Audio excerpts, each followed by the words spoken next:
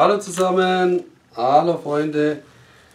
Heute möchte ich mal was wieder mit Wollfäden machen, aber mal ganz anders. Lasst euch überraschen. Und zwar habe ich mir wieder weiß angerührt. Große Becher, dann Gold habe ich vom letzten Video noch. Sollen wir ja nicht verschwenden. Und Kirschrot und Schwarz. So, ich ziehe mir jetzt im Prinzip erstmal eine Grundfläche mit Weiß.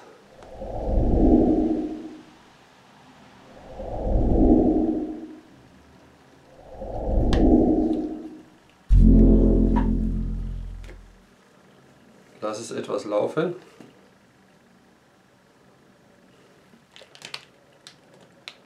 Damit wir bis an die Kante kommen, circa.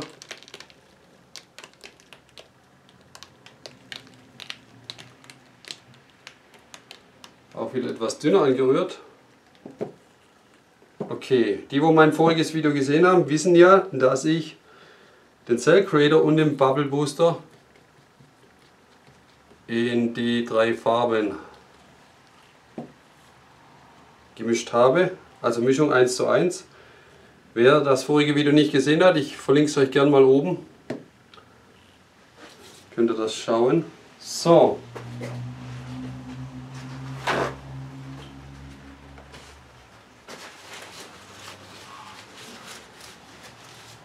Jetzt setze ich mir im Prinzip einfach mal noch Punkte.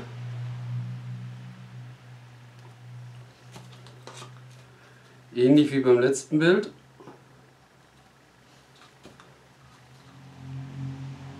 Ja, komm, wir machen etwas mehr Gold. Wie gesagt, dunkle Farben dominieren sehr.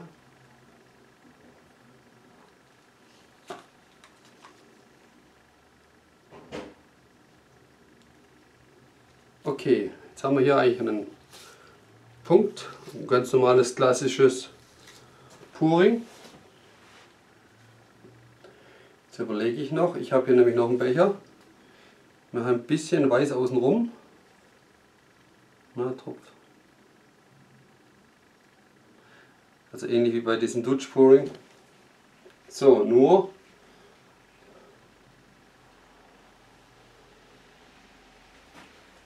ich wollte es noch auseinanderschneiden, das ist mir fast zu lang, der Wollfaden.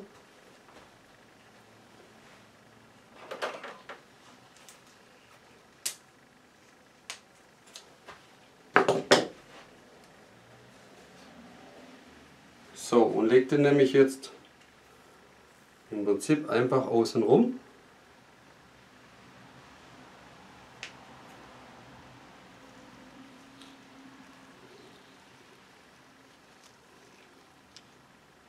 So, lassen jetzt erstmal absinken.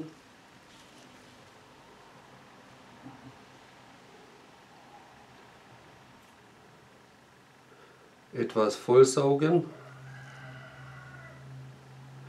Und dann ziehe ich den einfach zusammen. Und dann schauen wir mal, was rauskommt.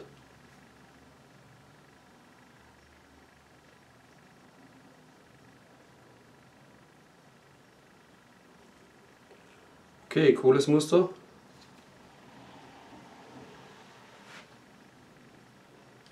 Das lassen wir so. Mal jetzt den nächsten Punkt. Oder die Punkte.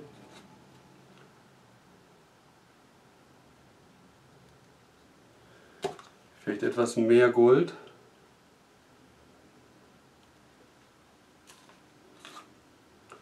Nur ein Schuss schwarz.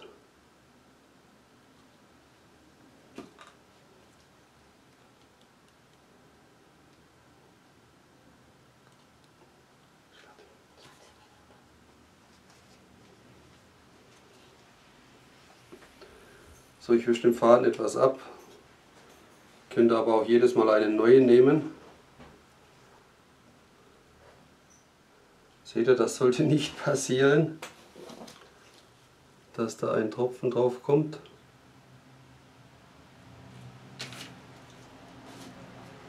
Okay.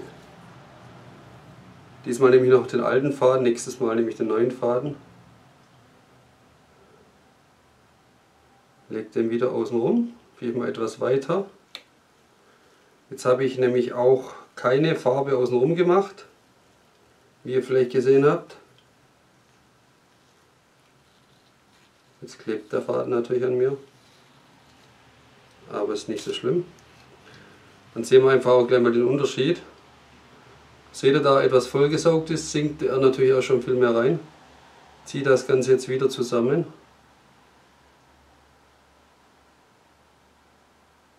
Und ihr seht, komplett anders. Also am besten immer neuen Faden nehmen, das mache ich jetzt nochmal. Und nehme vielleicht etwas weiß außen rum. Pass mal auf, das machen wir einfach.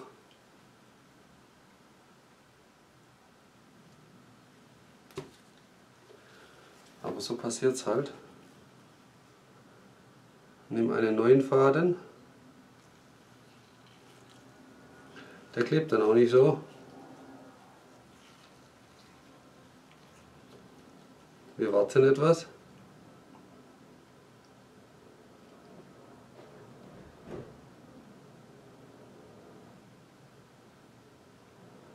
Und dann ziehen wir nochmal. Das seht ihr schon, es funktioniert besser etwas weiß außenrum.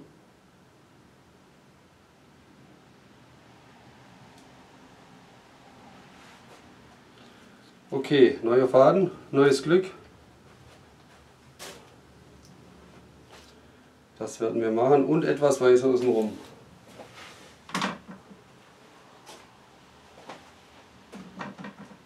Ich habe genug Fäden da. Ich habe einen ganzen Wollknäuel. Wow, da gibt es eine große Zelle. Jetzt wartet mal, der Faden müsste eigentlich reichen fürs nächste Mal. Ja, das ist lang genug. Okay, dann setzen wir mal hier den nächsten Punkt.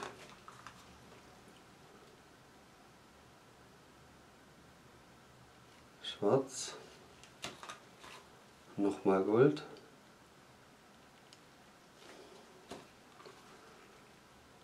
Etwas rot, naja, etwas viel rot. Aber da merkt ihr halt den Unterschied auch wieder. Ihr seht hier das Gold. Ist halt eine schwere Farbe, eigentlich auch schwarz, aber schwarz geht noch. Aber durch diese Metallic-Pigmente sinkt natürlich das Gold sehr nach unten.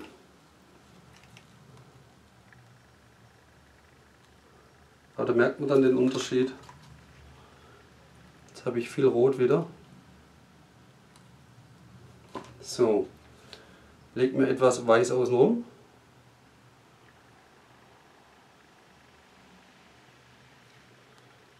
Besser ist das.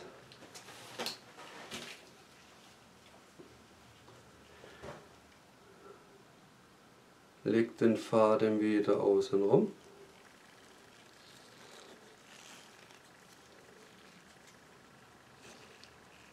Na, komm her. Und lasst den ruhig etwas einsinken. Können auch ein bisschen reindrücken.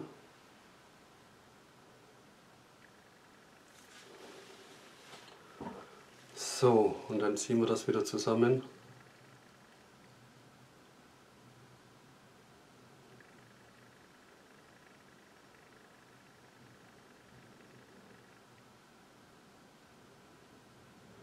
Das ist die Frage. Genau, ich lupfe es weg.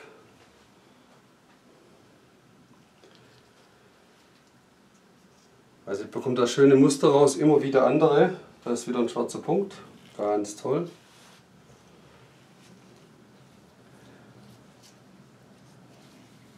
Da liegt es natürlich an euch, das etwas zu kontrollieren. Vielleicht schneller ziehen, mal langsamer ziehen. Ich schneide mir noch kurz einen Faden zu.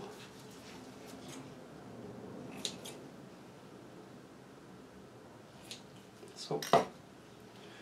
Aber ich denke mal, da machen wir hier noch mal eins. Und zwar fange ich diesmal vielleicht mal mit Schwarz an.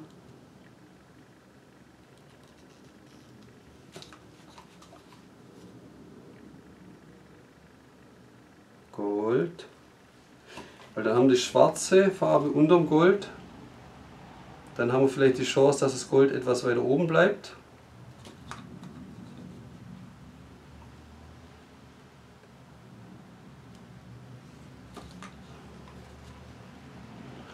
Das solltet ihr vermeiden.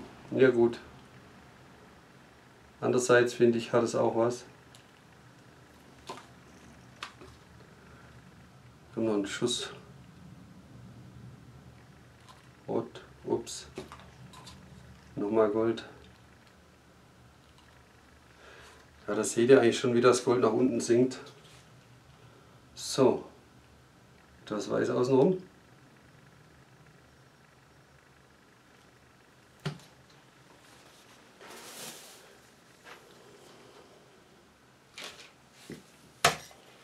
So, jetzt suche ich meinen abgeschnittenen Faden, der ist weg.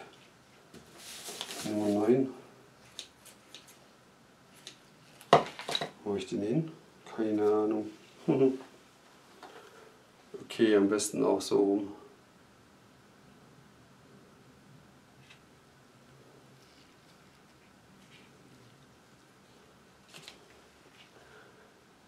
Ich denke mal, wenn man es etwas unter die Farbe drückt, funktioniert es besser, aber nicht zu arg. Weil der Faden saugt sich ja auch voll. Wenn ihr es ein bisschen liegen lasst, denke ich mal fast besser. Und dann ziehen wir einfach wieder.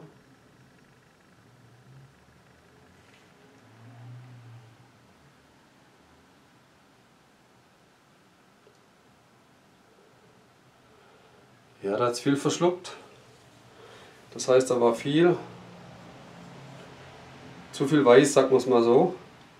Und jetzt seht ihr aber auch, das Gold ist fast wieder verschwunden. Passt mal auf, ich habe ja hier jetzt einen bunten Faden. Lege ich das mal um den schwarzen Punkt hier rum. Einfach mal zum Testen.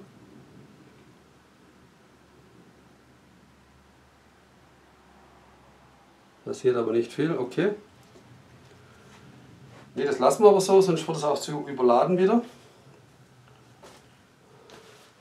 Und jetzt habe ich ja noch diesen Pluspunkt, da ich ja das mit diesem Cell Creator Plus Bubble Booster vermischt habe. Wenn wir das jetzt noch ein bisschen erhitzen, dann schauen wir mal was passiert und vielleicht auch in die Hoffnung haben, dass da noch etwas Gold herauskommt wieder. Okay, aber nicht zu stark erhitzen, denke ich mal.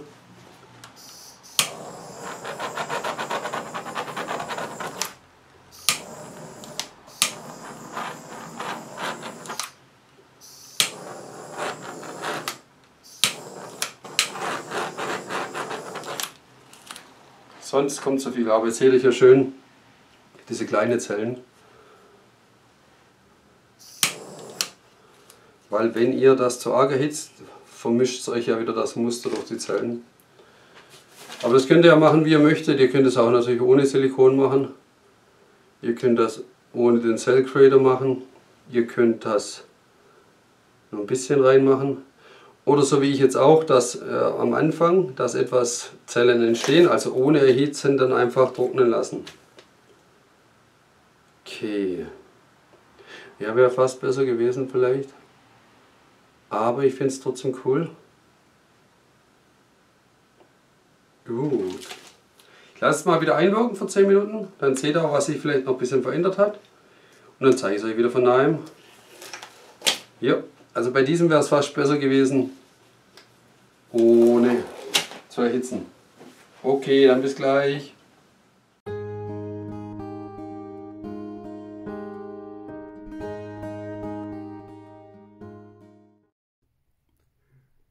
So Freunde, jetzt mal das Bild von daheim wieder.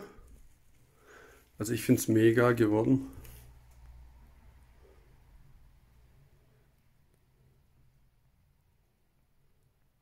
Seht ihr die kleinen Zellen?